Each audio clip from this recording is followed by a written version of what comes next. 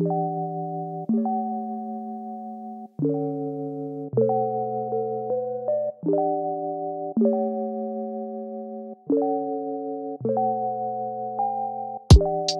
I'm on the balcony reading a novel. I take the best advice from both the Quran and the Bible. My wife bad, more beautiful than your favorite model. Don't believe in idols, I think you find the answers inside you.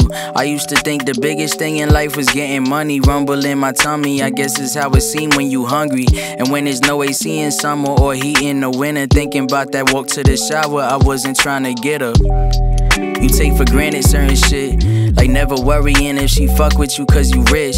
Or friends feeling like they deserving of what you get. And trying to bring you down, that dollar made people flip. Like quarters, I be caught up in stressing over this chip. Like drowning in depression, the women liquor is slit right. B&B's way up in the hills out in Malibu. Pomegranates growing in the bushes, feeling gratitude. Shorty trying to fuck with me, but I just keep it casual. Breaking all the rules, let her stay until the afternoon. It get lonely, I be knowing she Thinking back to all of the women that really chose me. And all the times that I was the villain and she consoled me. And told me I was gonna be great. Boy, am I late. I peep the calendar like how often can I escape? I take a breath accepting what's seeming to be my fate.